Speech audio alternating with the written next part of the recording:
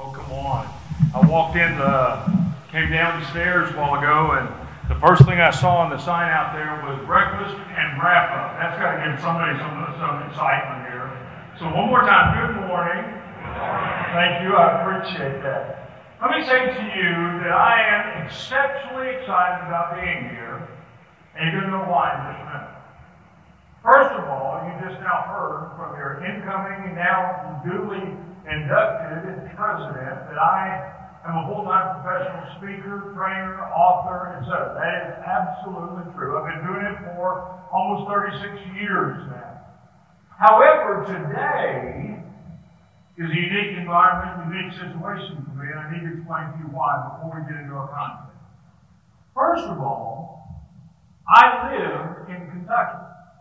In fact, about 210 miles further west from here, many of you know Caldwell County. In fact, I have uh, a number of my friends, even classmates in the room today, as well as my magistrate, my judge, and others are in the room today. So I'm presenting to friends. Trust me, I will hear at Katie's Kitchen or at Heaton's Barbecue or someplace next week or the next coming weeks. I'm going to hear about this presentation today. I guarantee you that.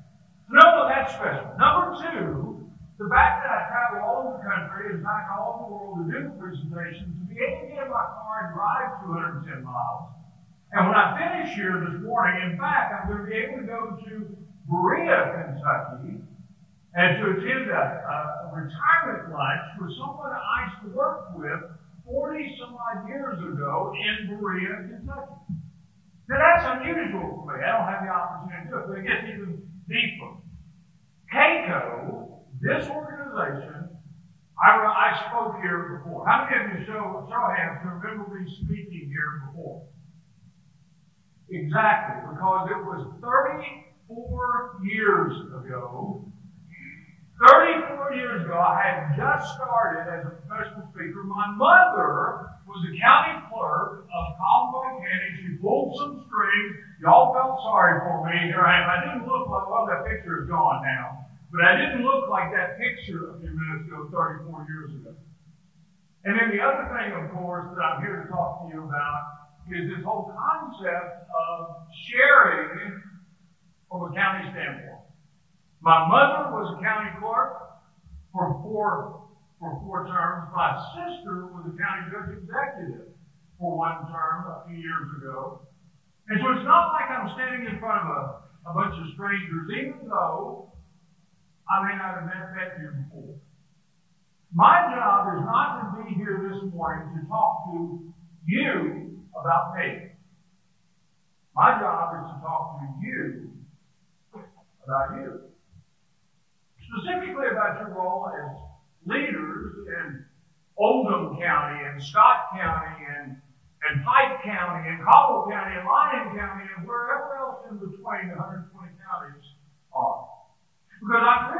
that not only are some of you elected officials and some of you appointed officials and some of you hired for particular position, all of you occupy a position of leadership and multiple positions of leadership in most cases in the communities that you represent, the counties that you represent. So again, my job today, in the next few minutes that I have to, to share with you, is to talk to you about you and about specifically your role as leaders going forward. Now, you can do that in a number of different ways. I had the opportunity a few minutes ago, I was talking to some folks from over on the eastern side of the state, and they asked me, do you do training?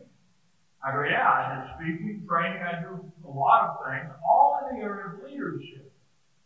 And it's from that training standpoint, I want to share with you what we're going to begin with this morning.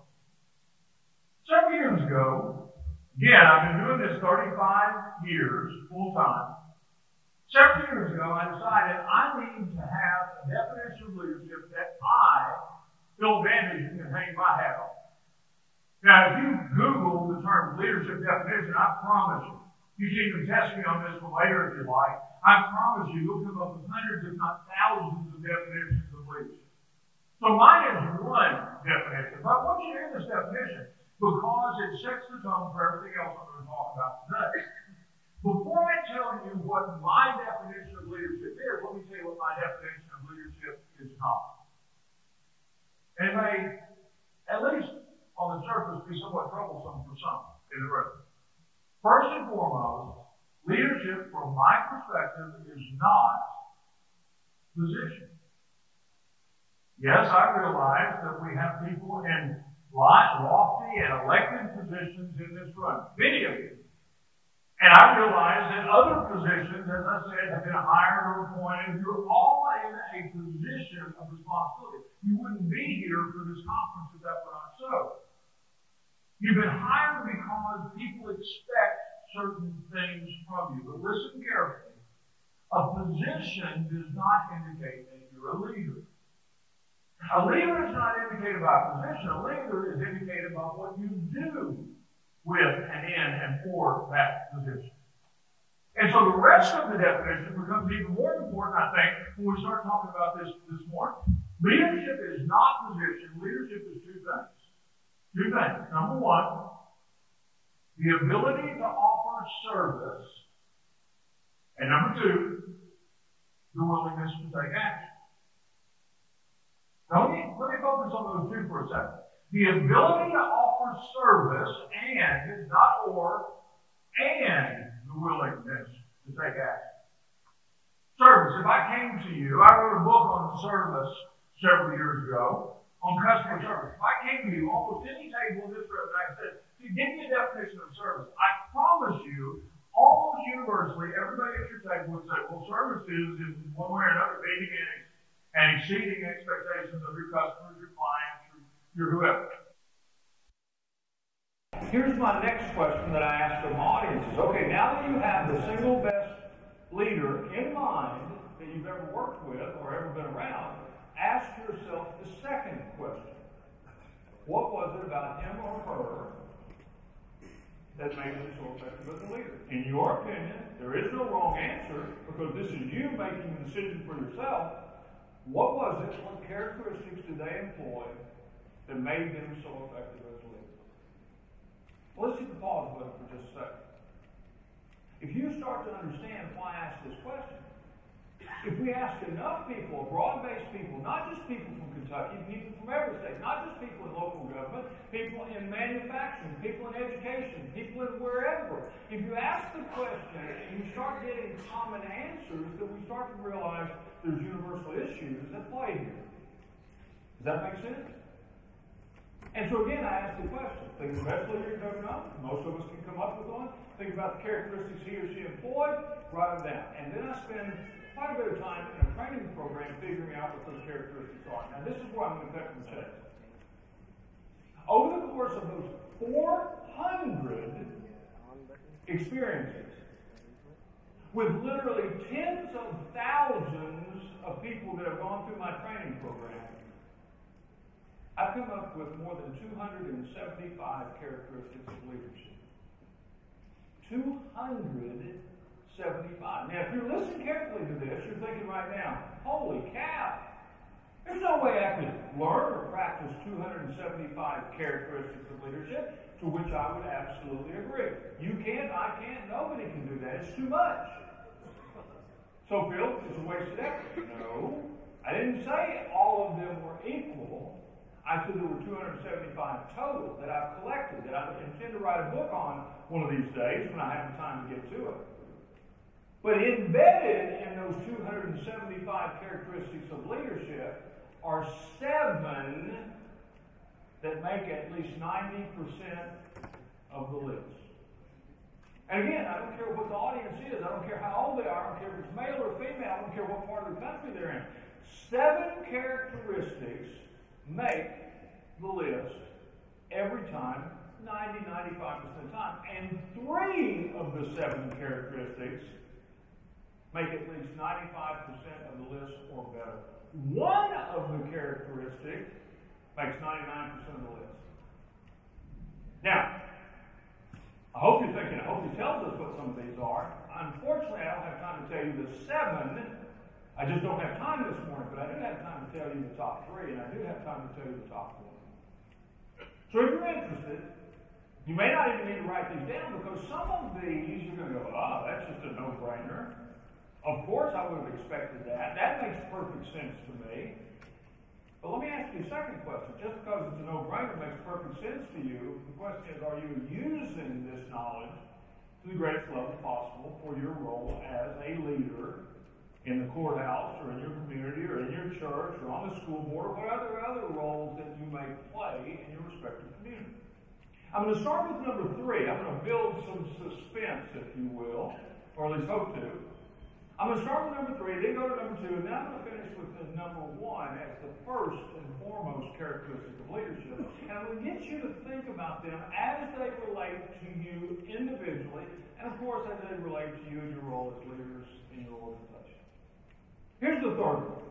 I wish I had time to tell you more, but the third on this list of the top three, the third characteristic that audiences say again and again and again is I want my leader to be caring and compassionate.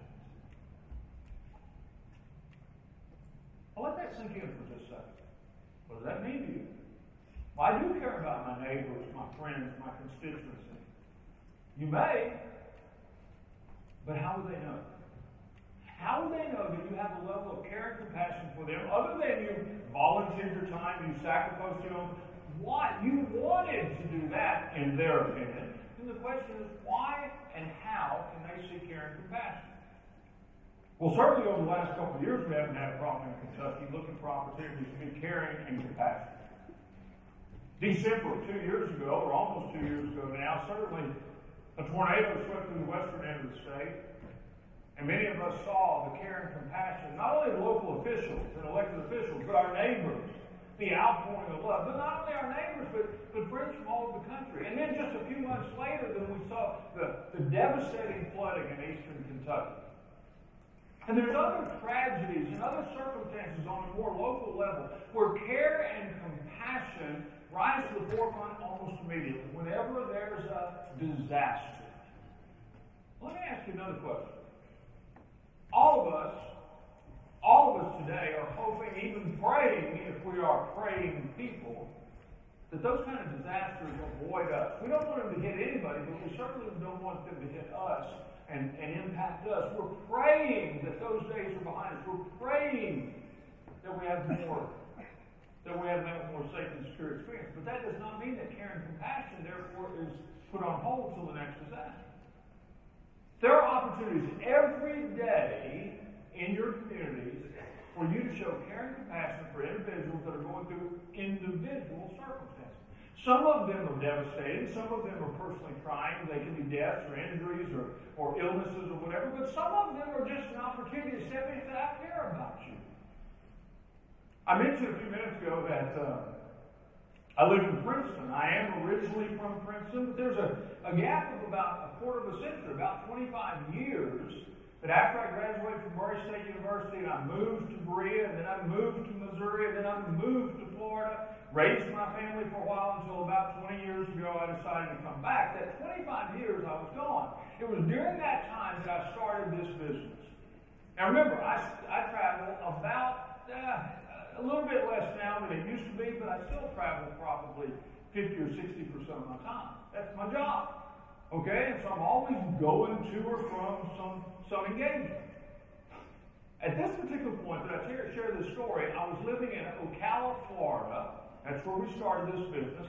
And interestingly enough, coincidentally enough, I booked a program in central Kentucky, specifically Jamestown, Kentucky. I don't know who is right here from Jamestown, but, but I was going down there to the state park to speak to a group, and I was going to speak in the evening, so I do something I normally don't do. I decided to fly up that morning from Orlando because I had plenty of time. I'll take the flight, I'll drive down to Jamestown for the evening program, everything will be great. Well, I flew to Louisville, no problem.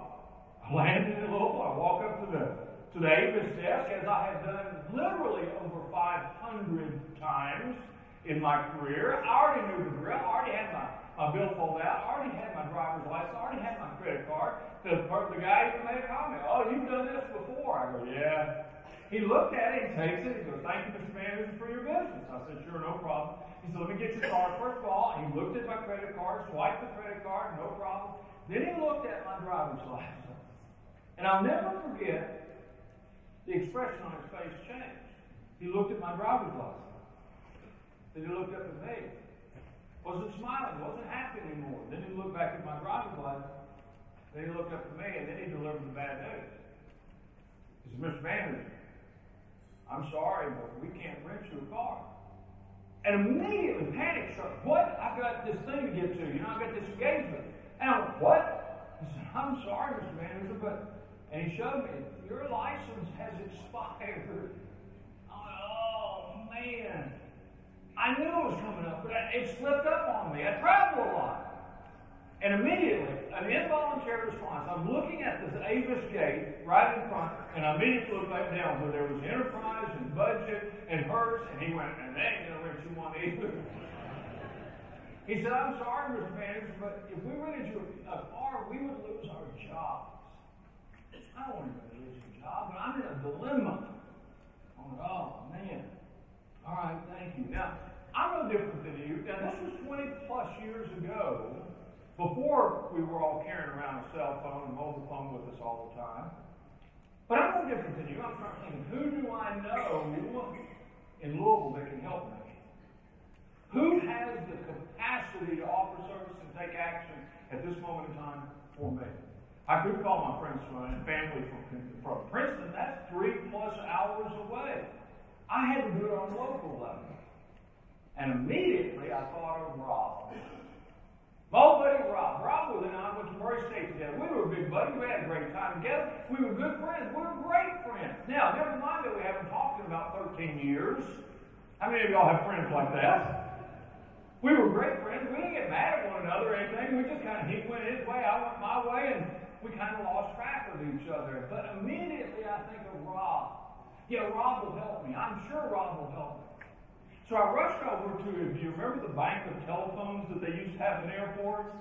And the big, the big uh, uh, phone books, and I mean to start thumbing through the phone books. And there, was his name lived in Fairdale, Kentucky. And I called him up, got the number.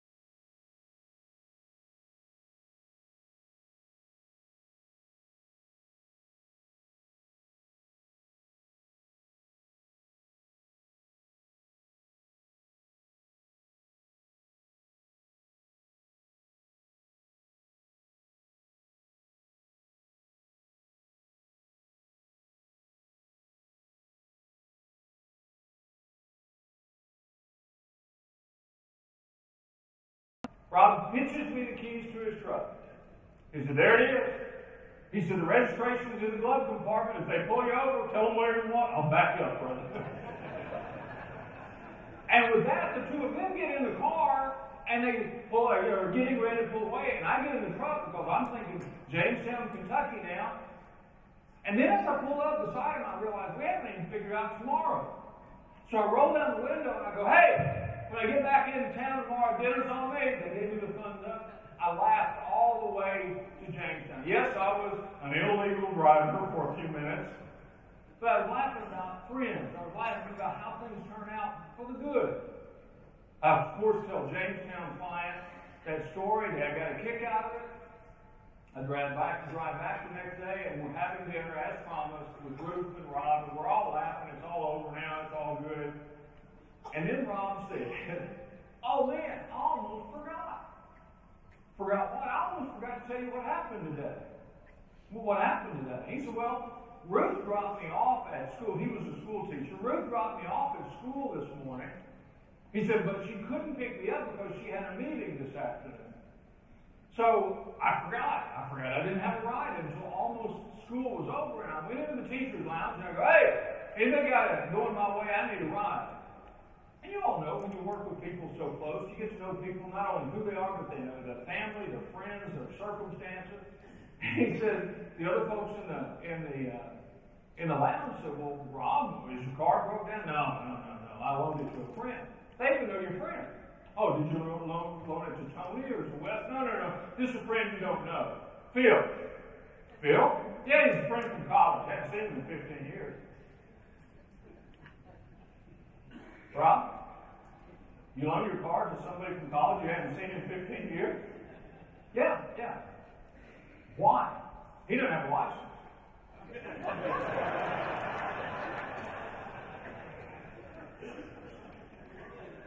Rob, you loan your car to somebody from college that you haven't seen for 15 years, and he doesn't have a license? Yeah, yeah. Where did he take it? I don't know. I didn't even ask him where he took it. I have no idea. Rob, let me get this straight. You load your car to someone you haven't seen in 15 years who, who doesn't have a license and you have no clue where he took your car. Is that about it? And Rob said, yes. Then she asked the logical question, which is what? Rob, why would you do that? To which Rob responds, He's my friend. Care and compassion can show itself at the worst of times. When the winds blow and the rains fall. When big ice storms hit. But care and compassion is still alive, or should be, in those times that are not so terrible. But that are still personally challenging for individuals. An opportunity for you to show the care and compassion that you are more than just in search of their votes but you have an opportunity to help them when you can because of who you are in the position and opportunities that you have. Number three on this list of characteristics of great leadership is care and compassion. But then we move to number two. Now remember, this is not one or two or three people. These are thousands of people reinforcing the concept that these characteristics matter. And the number two on the list the ability to listen and connect. If I came to most of you and I said to you, Are you a good listener? Many of you would respond, because we've been conditioned to respond this way, many of you would respond, Yeah, I'm a pretty good communicator. That's not what I asked. I didn't ask if you were a good communicator. Certainly, listening is a part of communication, a very important part of communication. But listening also is a standalone. Because if you're listening, you have the opportunity to learn something. I can't I can't tell you, I've cut my eyes two or three times over this table, the Lyon County, to Caldwell County, because I said it before, I've got friends sitting over there. I've got friends in other places in the room, but there's a lot of people that know me a lot longer and a lot better than any of you will know me. And one of the things they know that I can't hide from them, some of y'all think, well, he's a talker? Well, they know it's not just started in the last few days, weeks, months, or years. I've been a talker my entire life. In fact, I remember one time when I was about five or six years old, no older than six for sure, that I was down at my grandmother's house. Now, some of you, maybe many of you in this room will be able to relate to the story. My grandmother, Mackie Van Hooser, my dad's mama, was the consummate country grandmother. My grandmother, no exaggeration, cooked on a wood stove until the day she died, and she died in 1974. By the way, she never had running water. In her entire life, she never had running water. And again, she died in 1974. I never, never, not one time did I ever see my grandmother in anything other than a skirt or a, a plain cotton dress. Certainly not pants. A bathing suit? A grandmother in a bathing suit? Are you kidding me? My grandma, oh, she always had her hair up in a, in a net, right? She always wore, always wore an apron. And the apron always had two pockets. And in this pocket, she always had a handkerchief. I mean, I never remember without a handkerchief. She believed you could conquer the world with a handkerchief. And in this pocket, a little snuff. Okay? Yeah, my grandmother dipped a little snuff. It was one day that I was with my grandmother. I was in her old kitchen, and she was doing what I love best. She was cooking, baking specifically. And she was making biscuits. Now, this was not unusual. She made biscuits almost every day of her life. But she was rolling them out, and she had the flour, and she was wiping her hands on her apron. She had flour on her. And I just thought this was the coolest thing. It was just me and her. Well, there was a few times when I was the only grandkid around. And man, I made use of I would talk, talk, talk, Every step she took, I'd ride on her heels, talking to her, talking to her. Man, she'd turn around, she'd bump into me, she'd work away. I just kept talking.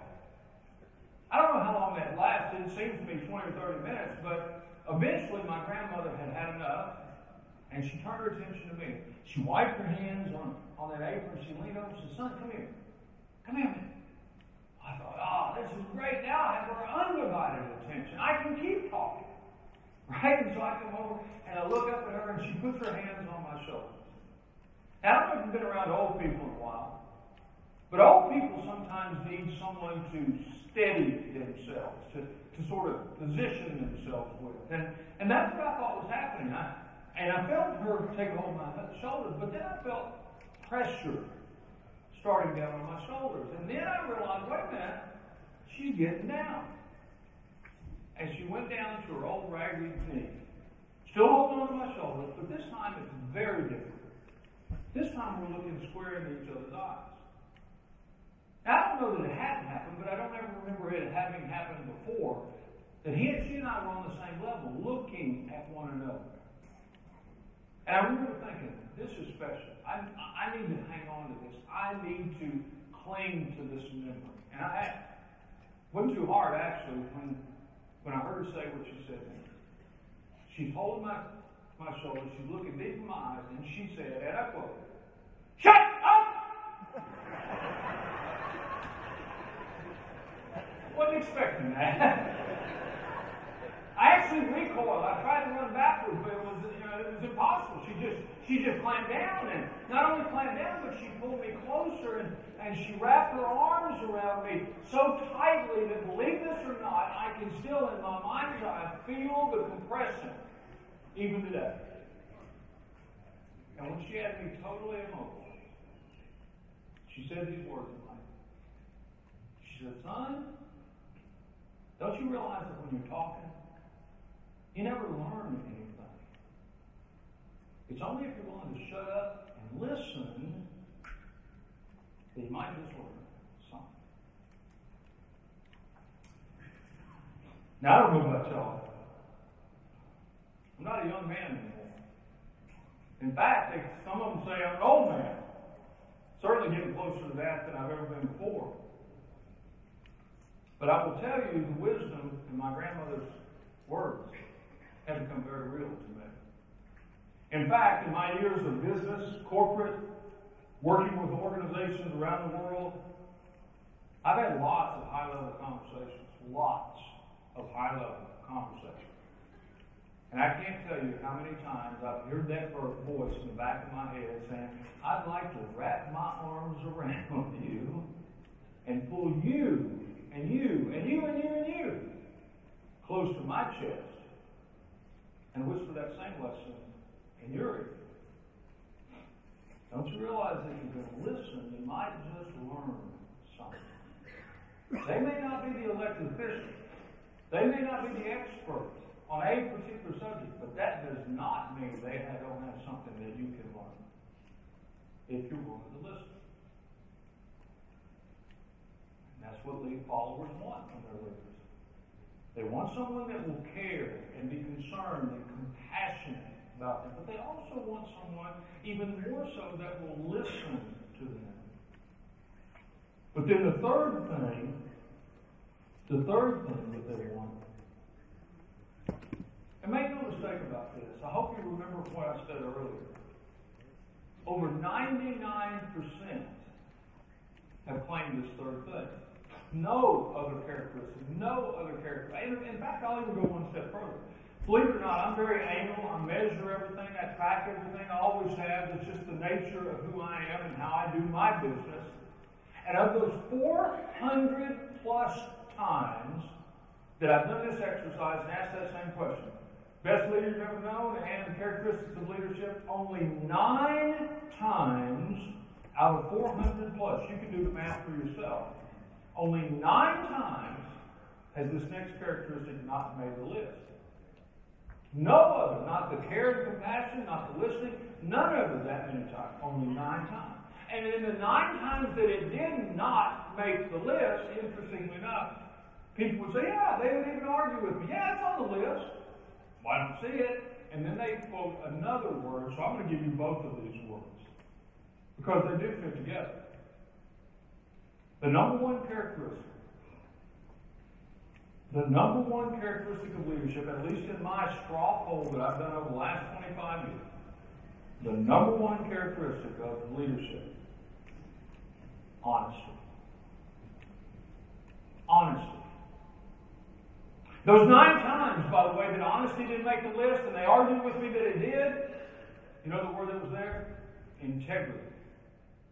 Because some people think honesty and integrity are the same thing. They're not, by the way. They're first cousins not the same thing. Because if they were the same thing, we would mean two different words. Honesty is about being honest, being truthful. Integrity is about doing the right thing because it's the right thing to do, not because it's easy or quick or even politically expedient, but because it's the right thing to do. Now, you put those two together, being honest and integrity based, that's a good combination. Now, if I came to you, and if I walked around and I came up to you, now, I'm not going to do this. I'm not so bold as to do this. But if I walked up to you right now, looked at any one of you in the eye, and said, ah, are you a liar? Most of y'all, especially if you didn't know me, and even if you did know me, maybe quicker, most of y'all would get upset pretty quick. Who do you think you are? Call me a liar? You don't even know me. You just walked up. Or if I ask this question and instead, hey, thinking about lying to somebody today? What you mean? Not only you call me a liar, but you're calling me a premeditated liar? I'm planning it? Guess what? I've been the same way. Would be even today too if you walked up to me and asked me if I'm a liar or if I'm thinking about lying. But unfortunately I am, or at least was. 45 miles south of here is a manufacturing facility that I cut my teeth in. My first job out of college. They put me in a pretty responsible position. Most of the stories I like to tell, I like to tell stories because I think you can learn a lot of things from a story. I think you can retain the lesson for a long time. But this story I don't like to tell, and you'll know why in just a moment. I was in a pretty responsible position, a HR position, human resources position, with this manufacturing facility. Facility had about 400 employees. Interestingly enough, about the same number of people that are in this room right now. I was the HR guy. I was the one that went to. I was in charge of hiring, firing, promotions, and demotions, and all the things that had to do with employee decisions. And I'm sitting in my office, probably at that time about maybe 25 years old, 24, 5, 6, something like that. Sitting in my office one day, and all of a sudden I hear a knock on the door. I look up, and there's a young man. He's about the same age as me at that time. And he was immediately apologetic. Oh, Phil, I am so sorry. So sorry to interrupt. No, no, come on in. Sit down. No, no, no. I'm not going to sit down. You're obviously busy. I just have a quick question to ask you. Do you mind if I ask you this question? I don't mind. What's, what's your question? Here's the question. Phil, have y'all made a decision on that scheduler's position yet? Now, let me caution. Don't get hung up or caught up on this scheduler. Don't worry about that at all. But instead, understand the question he's asking. In my job as HR manager, we would post jobs, job openings, and we would give them the opportunity to know what jobs were available throughout the plant. So I would post them in a public place. If people were interested, they could sign the posting and we would promise them an interview. We would not promise them the job. We would not even promise that we'd fill the job internally. But any employee that wanted to be considered for any job would at least get an interview. We felt that only fair. And so, about three weeks earlier, I posted a job, a scheduler's position. A number of people, not just this individual, but a number of people had signed the posting, and in fact, we had already pulled the posting down and had completed all the interviews for everybody that had signed the list. So, his question is very logical. Phil, have y'all made a decision on this scheduler's position yet? Now listen carefully. The honest answer to his question was, yes, we have. You ain't it. But is that what I said? Is that what I said? All of a sudden, in that moment of what I would have considered innocence, I heard myself answer his question this way. Uh, uh, no, we haven't made the decision yet. Pause. Without him saying another word, I then added, we expect to make the decision in the next couple of weeks. An even briefer pause, and then I added, and of course, when we do make the decision, you'll be what? The first one. I saw this gentleman just now do what many of you were either thinking or did if I wasn't okay. This way, said, look at me. He went, That's right. If you'd walked up to me that day when I walked into work and said, You a liar? I would, What? You planning to lie to somebody today. And yet, not only am I a liar, I'm a three time liar. Have y'all noticed the time when you tell that first lie, the second, third, and all that follow get pretty easy after that? You know what this young man did that morning? He looked at me. He went, Thank you, Bill.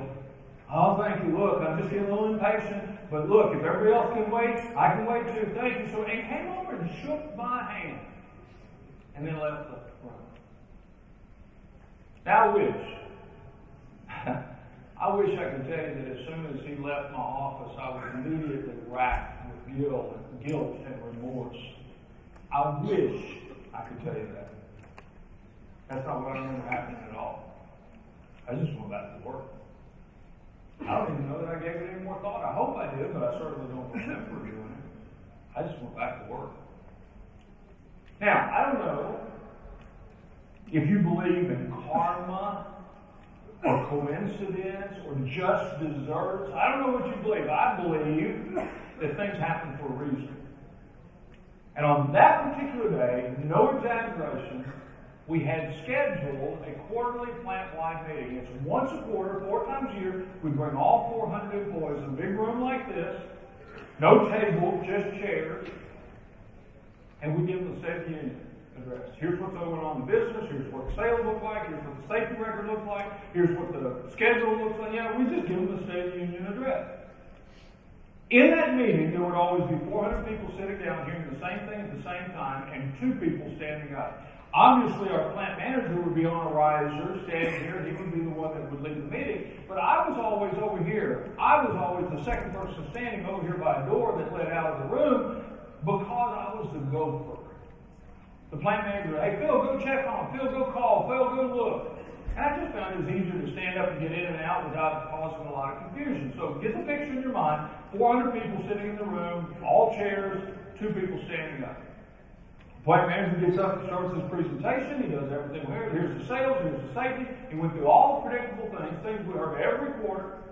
And then he did what we also planned and prepared for every quarter. He looked at the audience and he said, Look, we got about five minutes. Does anybody have any questions? Immediately, hand shot. Right there in the front row, over to his right. He said, Yes, what's your question? He said, Y'all have, y'all made a decision on that scheduler's position yet? It wasn't the guy that I talked to earlier in the day.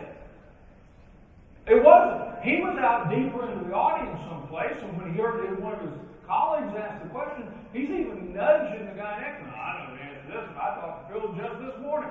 They haven't made a decision. They expect to make it in the next three weeks, and I'm going to be the first to know.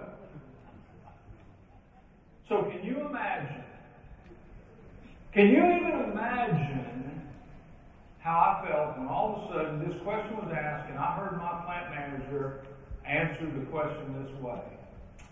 Uh, yeah, yeah, we have made decisions about that scheduler's position. We made it about two weeks ago.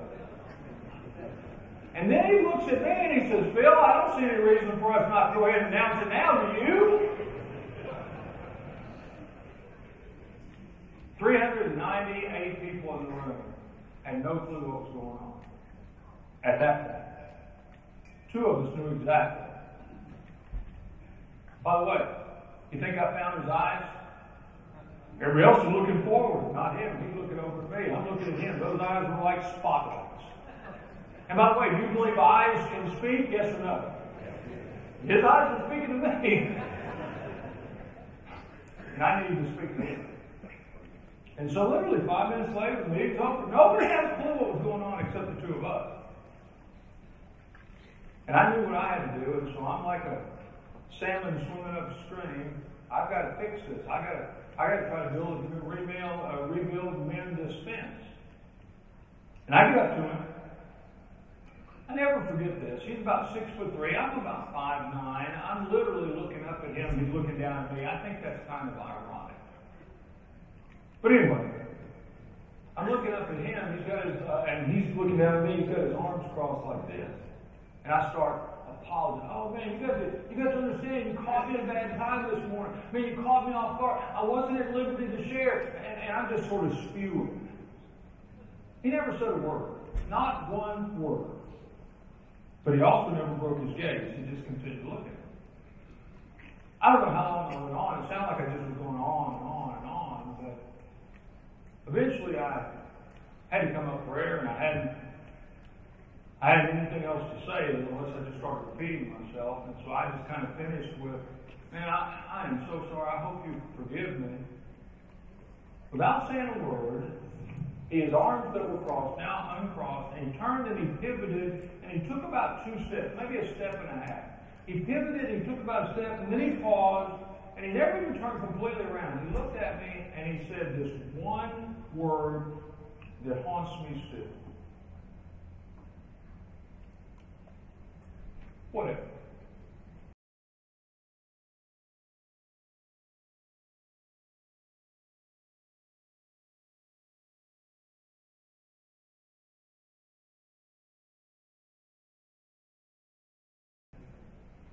Whatever. Thus rendering me completely unnecessary. For someone who had designs and a desire to be an effective leader in my career, it ended right there for him. Yeah, we ended up working for another two years together. But as you can imagine, the relationship was never the same. Certainly was not built on trust from his part toward me. And even though I tried to rebuild the relationship, it never was as strong as it was before. And by the way, I want to stress something. This was a self-inflicted wound. He did nothing wrong. He asked a question. I could have just as easily said, I'm sorry, I really can't. I'm really not in a position, I can't divulge that information, even though I know I'm, I'm not in liberty to share it right now. Oh yeah, he would have tried to wiggle it out of me. You know how that is. You get it every day. But at least he would have said at some point down the road, you know what? As much as Phil aggravates me sometimes, he won't tell me what I want to know. I don't think I've ever heard him lie to me. I went back to my office that day, I had not done these 400 plus surveys at that point, but inherently I knew that I had made one of the biggest mistakes in my career up to that point. And I knew that the only person that could fix that mistake was.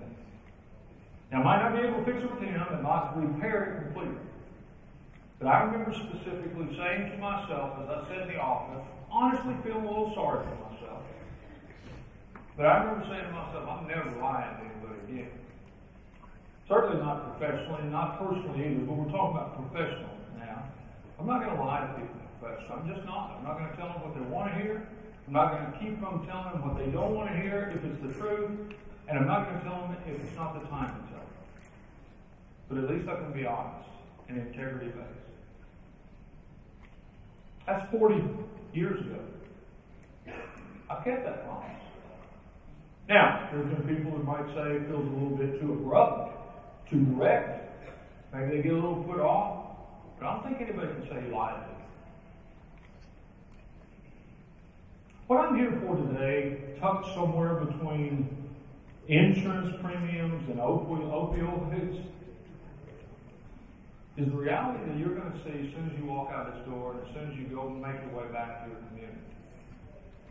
You're going to find people who elected you or appointed you or hired you for a very specific purpose. It could be treasurer, it could be magistrate, it could be judge, it could be a number of other things. But they, they came to you because out of all the hundreds, even thousands, maybe even hundreds of thousands of people in your county, they saw you willing to serve and take action on behalf of them. If you don't, it doesn't really make any difference how many years you occupy the position you're in. You haven't earned their respect as a leader. And by the way, you can earn their respect in a matter of months or a relatively short period. It doesn't take a long time. As long as they know that you care, you'll listen, and you'll be honest. It's hard to be. That is a leadership challenge. Now, I told you I didn't have time to do the other four, or the other 272. And you know why? Because I don't just talk about it, I try to embrace it. And I don't want you just to think about it, I want you to do something about it as well. My dad, my dad was a construction painter. We were at best lower middle class, and at different times even lower than that. My dad went to work before the kids got up and got home after dark, especially this time of year. I don't ever remember us having a conversation. I don't ever remember us having a meal without my dad being present, an evening meal. In fact, my mom wouldn't let us eat, not a bite, until my dad showed up for work and the table was set. And we would be there starving, and he'd come in, he'd wash up, and he'd plop down at the head of the table. And my mom asked him the same question virtually every time. It became a routine. I got sick of it, to be honest with you. But here's the question Joe, how are you? To which my dad responded almost every night of his adult life as I remember. I'm give out. I'm give out. In this room of friends, to tell people to say someone is give out, most of you understand that. If I'm in New York, as I'm going to be in a couple weeks, if I'm in Kansas as I was last week, you know, they may not understand being give out. That's kind of a colloquial term that Kentuckians can embrace. But for those of you who may not understand it fully, give out means it's worse than being tired. It's being totally exhausted. It's spent. I have no reserve. I give everything I've got out. They didn't clean up, we'd have our supper, he'd clean up, read the paper, maybe watch a little television, go to bed before we would go to bed because he had to do all again tomorrow morning. Can any of y'all relate to this? I did not appreciate that nearly enough 50 plus years ago. I appreciate it now. But not just for my dad and my mom who, who practiced that as well. I appreciate it for the leaders that we choose, elect, and appoint, and lift up, who will not give up, but they will give out. They will give up. I leave you with a poem, as strange as that may sound, that says to you what I would love to say in my own words, but Dale Wimbrow, in his poem, The Man in the Glass, said it far better. When you get all you want in your struggle for self and the world makes you king for a day, go to the mirror and look at yourself. See what that man has. See, it isn't your father or mother or boss or wife whose judgment upon you must pass. The person whose verdict counts most in your life is the one staring back from the glass. Some people may think you're a straight shooting chum. They may call you a wonderful guy. But the man in the glass says you're no more than a bum if you can't look me square in the eye. See, he's the one to please. Never mind all the rest. He'll be with you clear up to the end. But you'll know that you passed life's most difficult test if that man in that glass is your friend. So remember, you can fool the whole world down this pathway of years and get pats on the back as you pass. But your final reward will be heartaches and tears if you cheated that man of life. My name is Phillip Van Hooser. I'm a proud Kentuckian. God bless you one and all.